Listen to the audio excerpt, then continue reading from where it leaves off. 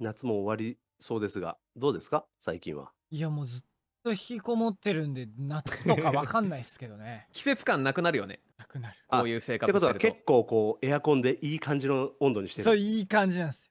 あ俺、あ。まあ、でも調節下手なんで、寒くなったり暑くなったりを繰り返してえ、何度何度ですか？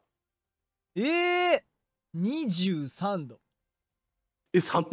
寒そう、で、寒くて消して、暑くてまた23度に戻すという。消すと暑いんだよな。つけると寒いんだよな。電気代食いそうなあれやり方だな、それは。え？まあでもえなんか25ぐらいにしときます？じゃあ。え、ね寝てる時はつけっぱなしですか？寝てる時は扇風機です。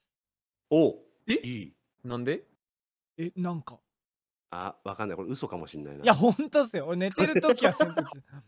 あの、エアコンがないんすよ、寝室に。え、嘘しえ？エアコンがどうすか寝室にない。ない。え？そんな何台も買わない。あの、わざわざ寝室を移動したのも、犬を飼い始めたからなんすよ。へえ。犬犬。そう、で、俺が俺の快適な温度でずっと過ごしてると、犬うんが多分投資するなって思って。そう。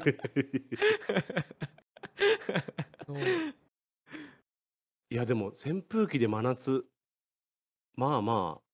いやだからも暑う自分の部屋のドアを開けて、その部屋をガンガンにしておいて、はいはいはいは廊下に流れてくる冷気を扇風機で取り込んでるんすよ。い。で一番それ。れ効率的にやるには廊下の入り口らへんに扇風機を置いた方がいいですね。そうそうです。マジで開けて扇風機置いてます。それかもうちょっとやり増設であと2台ぐらい 2台ぐらい買って寝室までにあのファンをいっぱいこうつなげていく。ファンを、あ、扇風機いっぱい置いて 扇風機をリレー形式リで送レー形式で風していく。送風でそういう冷気ってそういうもんじゃないでしょ知らんけど。絶対エアコンつけた方が早いだろうって話になって。いや、そう。いや、もともと空き部屋だったんで、そう、そこ使うあき予定なかったから。あいや、俺イマジナリードッグ飼ってるよ。